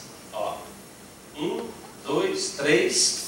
Aquela equação de Planck HF tem ali antes daquele HF, tem um N, que é mostrando que os níveis de energia são descontínuos. Ou seja, a matéria que a gente acha que é uma continuidade do ponto de vista energético, não há. São níveis de energia assim, ó, 1, 2, 3, 4, 5, 6. Não tem um nível 1,2, 1,3, 1,4, 2,7, não existe isso. E se você quiser que um elétron salte para um nível mais alto, isso só é possível se você fornecer para ele a quantidade precisa de energia. Por exemplo, você está no nível 1 e vai para o nível 3, ele precisa de 2. Né? Você não pode fornecer para ele 1,99. 1,99 não, não adianta, tem que ser 2. E aí o que, é que acontece com o elétron? Ele dá o famoso salto quântico. Você fornece energia, ó, essa ondazinha aqui é energia, e aí ele ó, salta, vem para aqui para o nível mais alto. Isso, um exemplo que eu costumo muito dar, é os interruptores, mas pelo jeito esses interruptores não são fosforescentes, né? Esse aqui, ó. Esse não é fosforescente, mas vocês certamente conhecem interruptores que à noite eles ficam claros. Né? Tem decorações de teto também, né? O que está acontecendo ali é que durante o dia, devido à luz do sol, luz artificial, os elétrons estão saltando para níveis mais altos. Você está fornecendo energia, passa o dia saltando. Quando você tira a fonte externa que estimulou o salto, a tendência dele é voltar para o seu nível estável. E aí ele volta. Quando ele volta, né, ó, quando ele salta de volta, ele devolve a luz que recebeu. Por isso que você fica ele fosforescente, ele brilhando à noite. Que é exatamente a volta, é o salto quântico de volta e ele devolvendo. Então isso a nível da mente, né, é, nós podemos associar os processos criativos. Então veja que os níveis de energia, gente, são como se fossem níveis de percepções da realidade. Então é possível que vocês olhem para vocês mesmos há 10 anos atrás e tenham estruturas de crenças que vocês não acreditam mais. Não é? Vocês acreditavam fielmente em alguma coisa, mas hoje você diz, não, isso para mim não, não é mais assim. Então você estava num nível de percepção. Tá? Então vocês quando estão estudando, né, estão participando de eventos como esse aqui, vocês estão recebendo um estímulo energético. É, é um processo de preparação. Aí vocês vão, adquirir um livro, vê um vídeo, se unem em grupo, estuda, pesquisa, vê um filme, enfim. E aí o que acontece? Num certo momento você diz, opa, é como se clareasse. E aí você começa a perceber as coisas de uma maneira diferente. É o salto quântico. Isso às vezes acontece de maneira abrupta. Na história da ciência tem muitas descobertas que aconteceram assim. Tem, tem um, um, caso dentro da química orgânica mesmo, o Kekulé, que descobriu as cadeias circulares, né? então ele estava quebrando a cabeça com aquilo ali, quebrando a cabeça e pensava em encontrar uma solução, é quando ele, numa noite, num sonho, ele sonha lá com aquela cobra, o Uroboros, que engole o próprio rabo. E aí veio o insight. O insight é exatamente é um salto. Clareou. Ele disse a cadeia é fechada. Então aquilo ali foi um sinal como sinal. Então, muitas descobertas, o Mozart fala disso, né? o Tchaikovsky fala disso, o Einstein fala disso. As grandes descobertas científicas, muitas descobertas científicas aconteceram assim, em segundos percepção. O cara está ali, cara, agora a pessoa, o que, é que acontece? A pessoa está ali na busca. Ele está injetando energia diariamente, estudando, pesquisando, pensando, pensando, pensando. E quando ele desliga, de repente vem, vem algo assim, e ele acessa, acessa aquela informação. E aí a coisa, a coisa se manifesta. Daí a gente compreender é, como o pensamento, nosso pensamento é a fonte da manifestação da realidade material. Tá? Então isso, isso você vai encontrar nas tradições orientais, os taoístas, por exemplo, tem um método chamado Wu Wei, que é um, é um método de manifestação da realidade.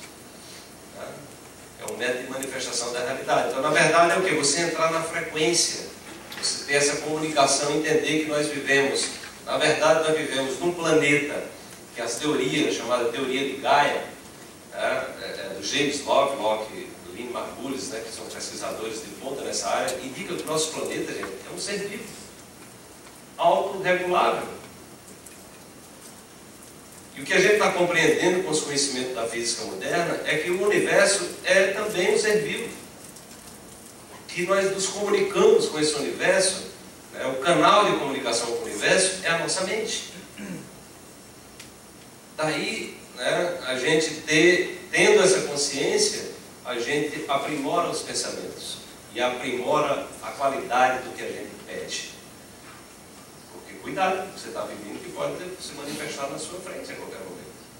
Então, à medida que a gente aprimora, tem esse conhecimento é, e entende uma, uma lei, né, uma lei física chamada lei da ressonância, não sei se vocês lembram disso quando estudavam física, é a lei que está associada, por exemplo, se você entrar no, no YouTube, você vai ver uma ponte nos Estados Unidos, em concreto, que caiu. Começou a vibrar, a ponte começou a vibrar por quê? Porque um vento soprou na frequência original da ponte. Então, cada um de nós tem uma frequência original. Por exemplo, na homeopatia, quando, você, quando o homeopata pesquisa o remédio único, ele está buscando exatamente o remédio faz ampliar a sua música. E quando a gente, é, quando a gente harmoniza, quando a gente está cantando a nossa música, é como se a gente tivesse alinhado todos os chakras, todos os centros energéticos em harmonia. Então a gente instala um programa de autocura. Né? Então, essa lei da ressonância é onde a gente explica a chamada lei da atração, que muita gente não entende. O que é esse negócio de lei da atração? É a frequência dos nossos pensamentos que está entrando em ressonância as frequências que estão aí. E no nosso corpo, nós temos todas as frequências do universo. Nós só precisamos acessar. Né? Acessar. Então, nós somos receptores do ponto de vista é, dessa perspectiva que a gente está trabalhando, nós somos receptores de frequência e transmissores de frequência. Então, nessa sala aqui, por exemplo, tem todas as, as frequências das TVs do mundo todo aqui nessa sala. Sabiam disso? Pegue uma, uma antena parabólica decente e, e bote aqui, né? liga uma TV que você vai assistir um filme no Japão, está passando na China, na Índia, em qualquer parte. E você só assiste porque essa informação está aqui agora. Ou seja, você tem que sintonizar na frequência para captar a informação. Da mesma forma, é a nossa mente. Tá? É a nossa mente. Então nós temos que estar. Né? Então, por que, por que, que muitas vezes nós não percebemos a realidade? Porque não estamos na sintonia. Por que, que vocês ou eu há 10 anos atrás pensava de uma maneira diferente. Nós estávamos em sintonias diferentes. Então a gente vai ajustando os padrões, daqui a pouco a gente começa a ver coisas que a gente não via. É, ou seja, as coisas estão aí, a realidade está aqui na nossa frente. Agora, aquilo que o Heisenberg disse, qual é o método que você está usando para investigar a realidade? Então, em função do método, você vê uma coisa, a outra pessoa vê uma coisa completamente diferente. Daí que a gente precisa trabalhar esse aspecto da tolerância, porque tem que entender que a pessoa está no universo paralelo. E isso já é tese de doutorado. Isso já é, do ponto de vista do que há de mais novo na física quântica, né, já há uma teoria consistente para o chamado multiversos. Ou seja, nós fazemos parte de um universo, mas existem outros. É, como nós mesmos somos referenciais, né, nós somos referenciais de múltiplos universos dentro de nós mesmos. À medida que a gente evolui, né, que a gente se abre para a investigação, né, que a gente investe em conhecimento e, sobretudo, em prática, conhecimento associado a uma prática, né, que leva exatamente a você pesquisar se é isso tem fundamento. Então você pode, de repente, acessar novos níveis de percepção da realidade. Né? Naturalmente que o que, é que acontece nesses processos? Né? Os, os, os, tibetanos, o pessoal da PNL, diz, olha, quando você tem um novo hábito, você precisa repetir no mínimo 21 vezes para ele se instalar. Né? Então, novas crenças, nós precisamos criar novas redes neurais. Então, você vai, se você entrar nas pesquisas recentes da neurociência, eles mostram o que chamam de neuroplasticidade cerebral. Que é exatamente, ou seja, não há idade para a gente se transformar. Se acreditava que né, tem, aquela, tem aquela música, né? Pau que nasce todo, corre todo, né? Gabriela nasce assim, né? E é comum você encontrar pessoas às vezes de uma certa idade, não, mas isso não dá mais para mim, não, eu sou. Não, existe isso.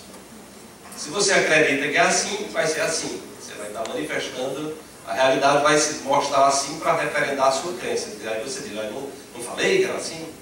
Mas a sua estrutura de crença que está manifestando essa realidade. Então, os trabalhos mais recentes, gente, na, na, na neurociência, mostram que não há limites para nós construirmos novas redes neurais. Então, novas redes neurais são novas perspectivas de olhar para o mundo. Né? São novas perspectivas de autotransformação. Né? E isso é acessível a qualquer pessoa. Então, como é que você faz isso? Para fazer isso, é aí onde entra o hábito. Nós precisamos repetir. Nós precisamos repetir. Se você quiser mudar a sua alimentação, você tem que repetir, repetir, repetir até. Né? Eu me lembro há muito tempo atrás, acho que há uns 30 anos atrás, né? época de faculdade, né? eu tendo uma série de maus hábitos alimentares, é, que terminou eu tendo problemas digestivos, gastrite, foi quando começou minha escalada para compreender o, o, outra forma de olhar para a, saúde e doença. Né? Então eu vi uma entrevista com Elba Ramalho, Elba Ramalho é aquela cantora, né? E aí o repórter perguntando, mas e essa energia toda que você tem, você passa todas as três horas no palco, tocando de roupa e cantando e saltitando, ela foi falar da forma como ela se alimentava. E ela falou, olha, eu não tomo refrigerante. Aí eu olhei naquela época, por que ela não toma refrigerante? Uma pessoa vive sem refrigerante. eu achei tão interessante. Hoje eu pensando, né, como para mim hoje eu não tomo refrigerante, para mim é o mais natural do mundo. Estou me acostumando a tomar as coisas sem açúcar, inclusive. Então estou treinando meu cérebro a me acostumar a tomar as coisas sem açúcar. Mas olha, naquela época eu achava um absurdo uma pessoa não dizer que tomava refrigerante. Então o quê? Eu fui criado tomando refrigerante. Então para mim era natural tomar refrigerante pessoas não refrigerante. Então eu tenho uma estrutura de crença né, né, tão arraigada que eu fiquei espantado com aquilo. E aquilo, de certa forma, foi algo que ficou na minha memória. Né? Eu fui percebendo como a gente. Muitas coisas que a gente é, acredita, a gente não sabe nem de onde vem. Não sei se vocês conhecem uma um, um, história de um trabalho científico que foi feito com macacos. Dentro de uma jaula, então, os cientistas botaram cinco macacos. E aí o que é que acontece? Eles botaram uma escada, um cacho de banana em cima da escada. Né? Naturalmente, cinco macacos dentro de uma jaula, um cacho de banana, o que vai acontecer? Eles vão correr para cima da jaula, para cima da, do cacho de banana. E quando o primeiro macaco foi pegar o cacho de banana, os que ficaram embaixo tomaram um banho gelado, quase gelado. Assim, né? O pessoal deixou a água quase no estado de fusão, né? E deram um banho congelado naquele macaco, com um sofrimento para eles. Aí o outro lá pegou, voltou, daqui a pouco o outro tentou pegar a banana de novo. Quando subiu, que estavam embaixo, tome o banho gelado deles. Né? E aí o macaco, que não são bobos, foram entendendo que tinha uma lógica ali. Né? Quem subia para pegar a banana, os que estavam embaixo ah, tomavam banho gelado. Aí o que aconteceu? Quando um resolvia subir para pegar a banana, os que estavam embaixo agarravam ele e davam uma surra. davam uma surra. Aí ninguém, depois de um certo tempo, ninguém queria pegar mais aquele, aquele cacho de banana. Né? E aí o que, que aconteceu? Os cientistas disseram, vamos fazer o seguinte, tira um deles. Tirou um deles, né? tirou um macaco. Vamos botar um macaco que não participou dessa história do banho. Né? Aí botou um macaco novo na jaula, e a primeira coisa que ele fez foi, olhou para o cacho de banana e disse, aqui. E aí quando sobe, os quatro pegam ele e dão uma surra. Depois de um certo tempo ele parou de subir naturalmente. Botaram o segundo macaco. E a mesma coisa se repete. De forma que eles foram trocando os macacos, gente. E terminaram trocando todos os macacos que tomaram banho. E tinha agora na jaula cinco macacos que nunca tinham tomado banho. Mas quando um resolvia subir na escada, os outros pegavam e davam uma surra. Então, isso é muito interessante é, para a gente entender como se estruturam os paradigmas. Né? Então, muitas coisas se perguntavam, de onde é que você tirou isso? Eu não sei lá, todo mundo pensa assim. Né? Então, às vezes, muitas vezes, nós estamos se comportando como esses macacos, que não sabem de onde vem a, de onde vem a estrutura de crença, mas todo mundo faz essa mesma coisa, também tenho que fazer. Né? Então, dentro de uma, de uma nova perspectiva, a gente vai estar buscando estar atentos para os nossos pensamentos, para a nossa estrutura de crença, né, ficar vigilante, ou seja, perceber o nosso estado interior associado ao estado exterior. Né? Ou seja, tem trabalhos hoje científicos que mostram que, por exemplo, acidentes, pessoas que, que sofrem acidentes graves de carro, pelo menos 70% dessas pessoas estão internamente desestruturadas. Ou seja, a pessoa está um caos interno. Então, esse caos interno se manifesta no caos externo.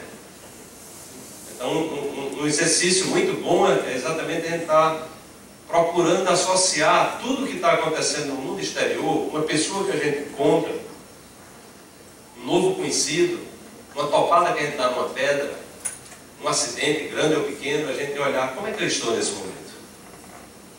Procurar ver essa, ver essa associação.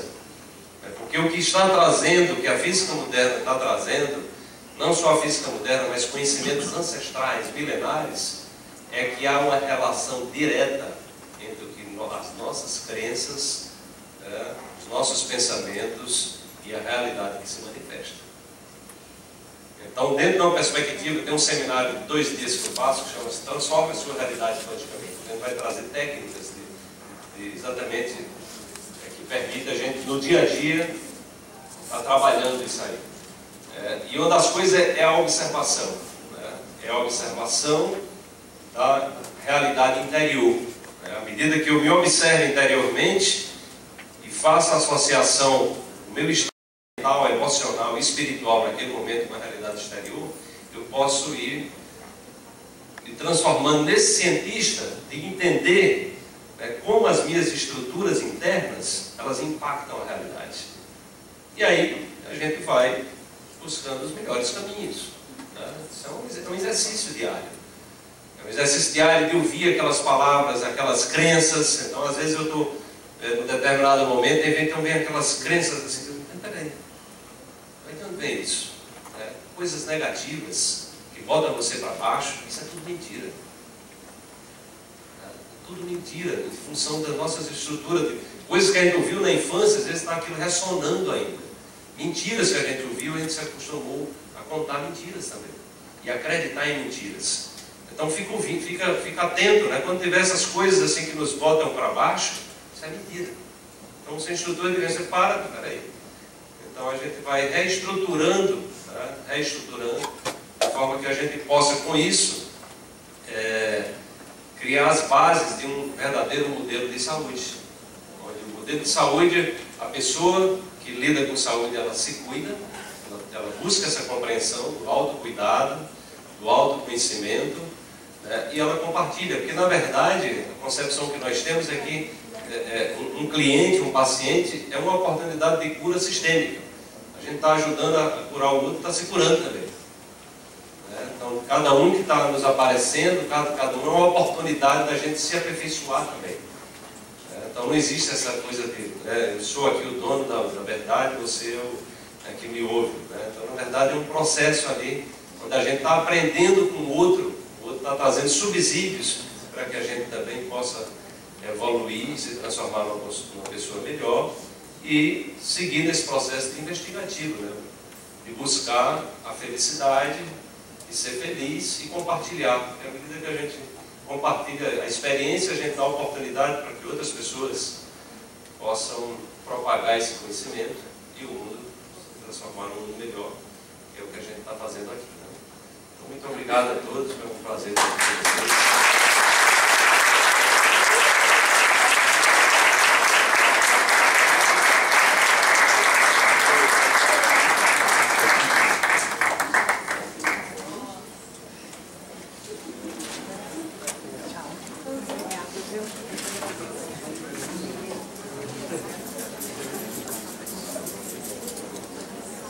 Pessoal, alguém gostaria de fazer alguma pergunta?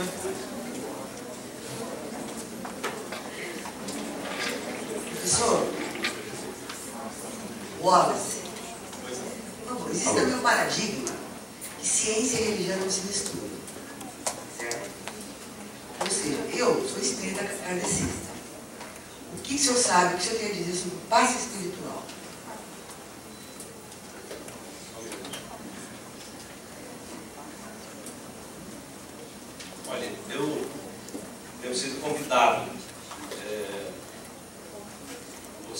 espíritas, de vez em quando me chamam. Em Recife eu já dei palestras em centros espíritas. é, também a Associação Médica Espírita, porque, na verdade, eu entendo que é o contrário. Eu entendo que, na verdade, nós estamos num momento de integrar a ciência e a espiritualidade. Né? Nós, nós desenvolvemos muito o hemisfério esquerdo. Né? Claro que a gente tem que entender que houve um processo aí da religião, que eu diferencio religião da espiritualidade, né? onde você, em nome de Deus, fez muita barbaridade e até hoje se faz. Né? Então você faz exatamente o contrário, né? então a ignorância completa. Né?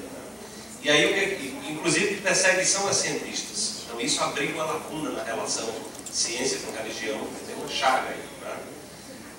De modo que a ciência, inclusive, tem um acordo, eu descobri já isso é, é, recentemente, o ano passado, em três livros, assim, uma sincronicidade uma informação que eu não tinha que Descartes, René Descartes, né, pesquisador do século XVII, né, dos pais né, do método científico, então ele, quando ele estava pesquisando a dissecação de cadáver, ele era também um é, investigador da fisiologia humana, então naquela época isso não podia ser feito, né, transgredir as regras da igreja. Como ele era um cientista de renome, o Papa abriu uma exceção, mas fez um acordo. Disse, olha, é o seguinte, tudo bem, nós vamos autorizar que você investigue cadáveres. Mas aí a ciência vai se cuidar do corpo físico e a questão da alma é com a religião. Então aí você vê que há um caminho de separação. Nesse curso que eu dou aula lá na Unifesp, um professor, um médico que deu aula no outro dia que eu fui assistir a aula dele, ele trouxe um, um dado contundente. Existem mais de 7 mil trabalhos hoje no mundo no campo espiritual, mostrando resultados clínicos que nenhum medicamento atinge aquele percentual. Eu perguntei para ele, mas como é que isso não está nos congressos? Ele disse, olha, eu sou membro do, Comissão Nacional. Tento todo ano levar isso, mas o pessoal não aceita, porque isso mexe com a estrutura de crença. Entende? Então, você, se você ler esse livro aí do, da, da, da, da, medicina da alma, você vai ver o resultado científico que já tem nesse campo de pesquisa. Então, acho que isso, na verdade, são nós acessamos o conhecimento. Hemisfério direito é a lógica racional, científica. Hemisfério direito é a visão holística do mundo, intuitiva e espiritual. Da mesma forma que está a visão de mundo masculino, que está a visão de mundo feminino. Da mesma forma, né, nós precisamos integrar essa visão do mundo. Não é que a, qual é a melhor visão do mundo? Da do homem ou da mulher? Não vai. Né? Então, não, é, não tem uma visão melhor, precisa integrar. Então, é precisa o homem precisa desenvolver a sua intuição, né, o afeto, né, como a mulher também precisa desenvolver os aspectos positivos do, né, masculinos, entendeu? Então, na verdade, integrar. A gente está num momento de integração, não de separação. Então, na verdade, se a gente integra uma visão espiritual, né, transcendendo todos esses dogmas que, que ferem os princípios espirituais, na verdade, muitas práticas são contas muita ignorância dentro da prática religiosa que a pessoa vem matando gente diz que é nome de Deus que mata a pessoa. Loucura, né? Então estou falando de, de algo que é de compreender que nós temos as leis. Temos leis que regem o mundo, como tem a lei da gravidade, tem as leis do mundo espiritual também.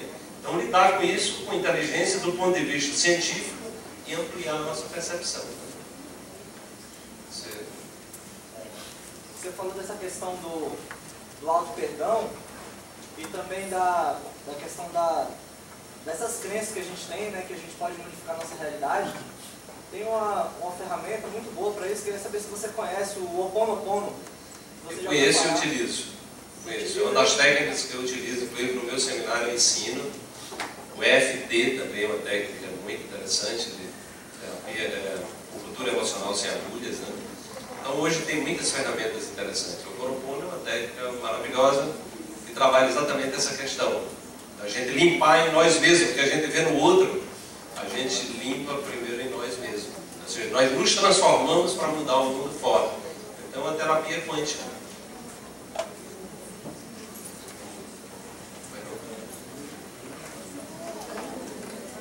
É uma pergunta sobre religião também.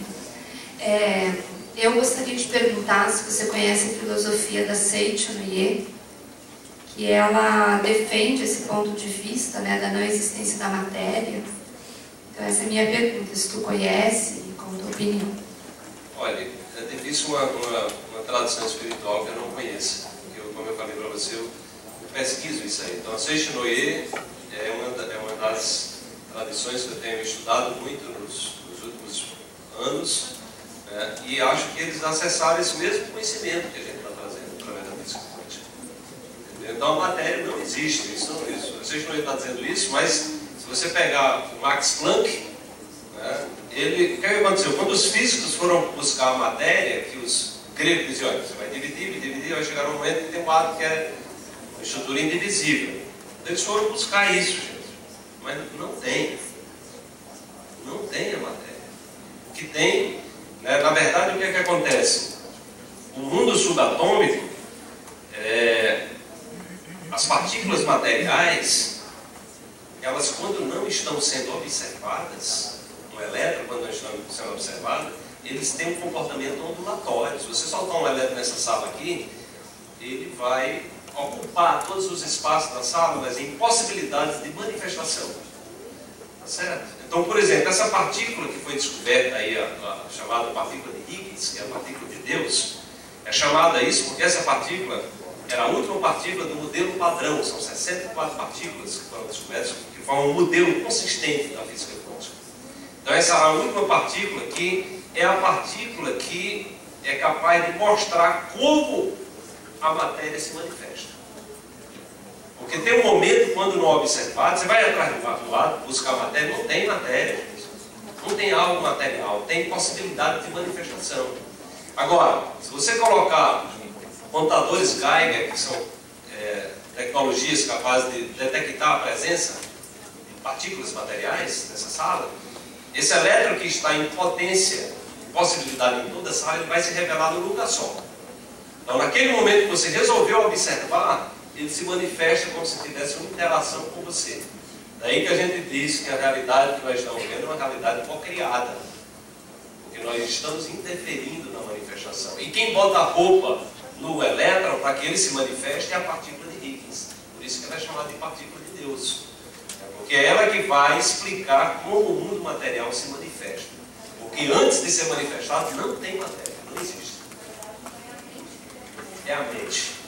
Aí está a questão da mente como, como veículo, né, como veículo que intermedia a manifestação do material. É isso mesmo. Mais alguma pergunta?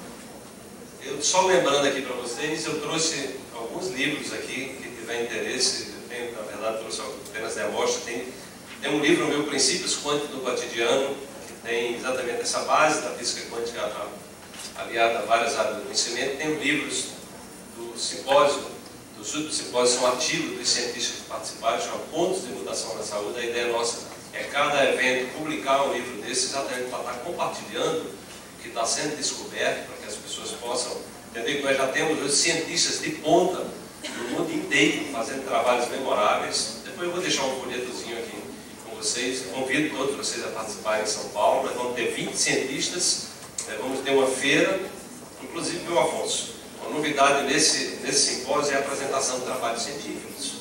Vocês podem apresentar trabalhos científicos no simpósio. Nós estamos com uma equipe de 12 professores da USP, da Unifesp, a ex-secretária de Saúde do Rio Grande do Norte faz parte da equipe também. Ela que implantou as práticas integrativas no estado do Rio Grande do Norte.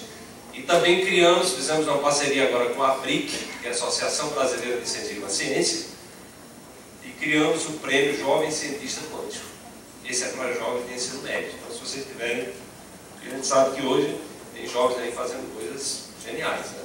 Vocês conhecerem algum jovem ensino médio que tem aí fazendo alguma invenção especial nessa área, então pode se inscrever e vai concorrer esse prêmio. Então vai ter essa, essa parte, vai ser apresentada em forma de pôsteres e vão ser publicados. A gente já está em contato com revistas, é, inclusive revistas indexadas, e estamos entrando agora na Lei Rouanet com um projeto para que esse livro dos trabalhos científicos seja publicado, né, para que a gente possa propagar isso aí. Porque muita gente não sabe o que está acontecendo já no meio acadêmico nessa área. Nessa, vocês terem uma ideia, nesse curso que eu estou dando aula de pós-graduação na Unifesp, tem em torno de 150 trabalhos científicos. Só no curso só tem 9 na Unifesp. Então muita gente não sabe, então é importante que a gente traga para as pessoas que já no mundo acadêmico tem muitos trabalhos especiais que apontam né, para um novo paradigma e com uma base científica consistente. O que o que as pessoas precisam é, é o processo de mudança, né? é se sentir seguras, se sentir seguras. Naturalmente, com cada um de nós exercendo o que faz da melhor maneira possível, dentro de uma ética, dentro de uma, de uma, de uma integridade, né, a gente vai ajudar isso a avançar uma velocidade cada vez maior. Ok? Então, quem tiver interesse, dá uma olhada aqui. Eu trouxe só um de cada, mas eu tenho alguns aí Tem dois é, DVDs também, um que eu trago exatamente essa base da física quântica, dimensão quântica da realidade, e outro que eu gravei com alguns cientistas, como o amigo Bazuano, passou duas horas no estúdio falando sobre o trabalho de cada um e como eles estão usando esse trabalho da transformação. São os diálogos quânticos notáveis. Ok? Obrigado.